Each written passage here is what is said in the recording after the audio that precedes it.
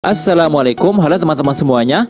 Foto yang dikirim untuk sekali dilihat di WhatsApp tidak bisa disimpan di galeri.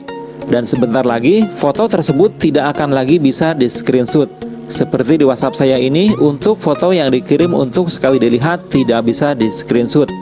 Nah, biasanya kalau di antara kalian memiliki HP lain, maka tentu saja akan memotretnya dengan menggunakan HP lain.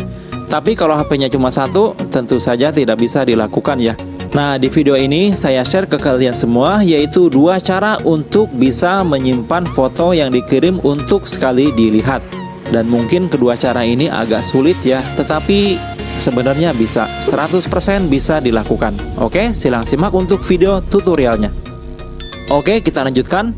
Cara pertama untuk bisa menyimpan foto yang dikirim untuk sekali dilihat yaitu dengan menggunakan WhatsApp mode.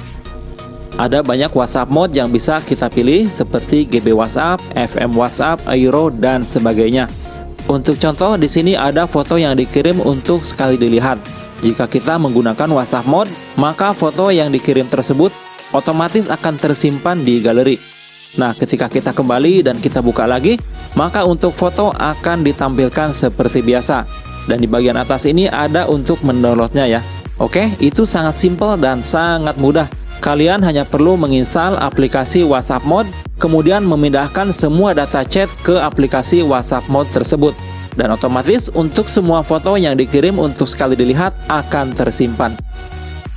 Kemudian cara yang kedua adalah menggunakan aplikasi File Manager Plus. Dengan menggunakan aplikasi ini, kalian bisa menyimpan gambar yang dikirim untuk sekali dilihat. Tetapi ada syarat yang sangat berat, yaitu HP kalian sudah root kalau belum, maka tidak bisa dilakukan. Oke, saya praktekkan. Contoh untuk di WhatsApp saya ini ada foto yang dikirim untuk sekali dilihat.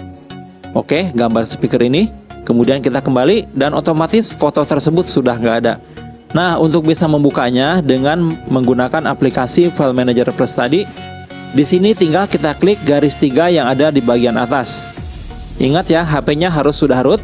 Kemudian di sini kita pilih sistem, Lalu pilih data underscore mirror. Kemudian pilih lagi data underscore C. Pilih lagi 0. Pilih folder 0. Lalu kita buka folder com.whatsapp. Oke, ini dia. Berikutnya pilih files. Pilih lagi view once. Nah, di sinilah untuk foto yang tadi dikirim untuk sekali dilihat. Walaupun di WhatsAppnya sudah nggak ada, tapi di sini ditampilkan. Kita lihat foto salon tadi.